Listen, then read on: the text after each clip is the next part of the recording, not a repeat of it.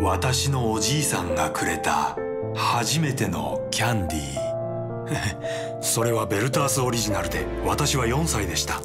こんなに美味しいキャンディーをもらえる私は特別な存在だと感じました。今では私がおじいさん。孫にあげるのはもちろんベルタースオリジナル。なぜなら彼もまた特別な存在だからです、